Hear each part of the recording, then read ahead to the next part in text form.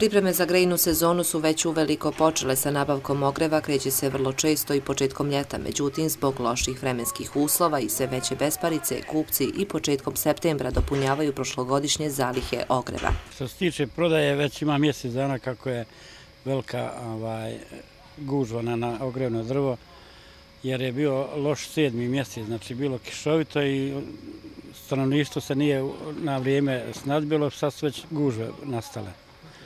Koja je cijena ove godine? Cijena drveta ove godine je otišla za 10 maraka na odnosu prošle godine. Sad je 90 maraka metar prostorni drveta bukve, graba, cera sa dostavom na adresu kupca. I kako je interesovanje? Je li ljudi više kupuju buku ili cer ili neku drugu vrstu?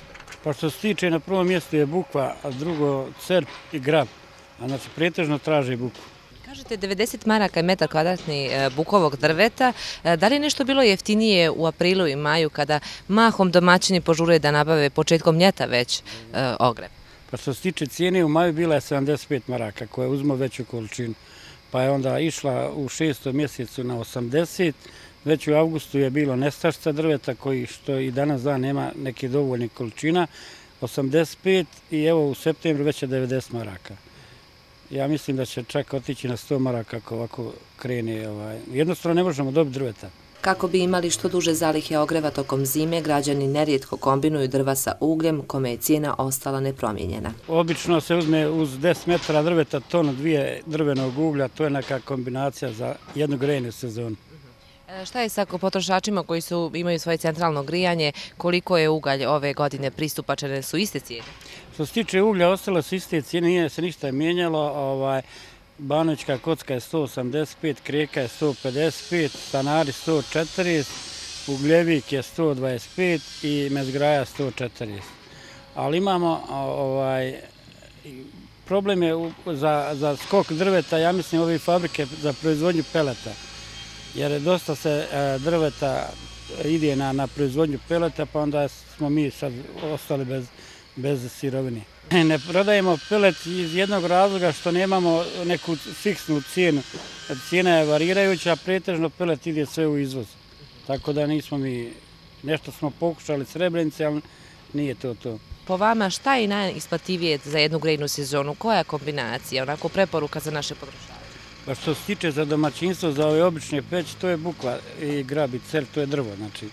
A za centralno kombinacija može da ide cer krupno, cijepan za centralno ili sve vrste ovog uglja od banovičke, kocke i mezgrajite. Kao i prethodnih godina, ogrev se može nabaviti uz mogućnost plaćanja na više mjesečnih rata. Mi smo napravili ugovor sa fondom PIO i na šest jednaki, čak i na 10-12 rata dajemo penzionerima, ako, kod, ako je kod nekog penzionera da je mala penzija, da idemo u susreti na 10 rata.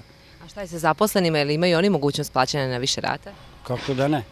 Imamo i sindikata, ali sindikat se nešto nisu ove godine javljali, sad se javljaju, ali već je pred, pred grejnu sezonu, pa tako da ne pravimo ugovor s njima. Koje je to otprilike prosje koje oni nabavljaju? Je li to 5-10 metara? Kako otprilike taj potrošački džep kažu da je velika oskudica danas?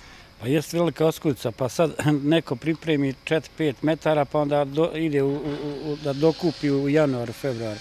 A ako ima novca, on kupi odmah 10-12 metara i riješi grejnu sezonu.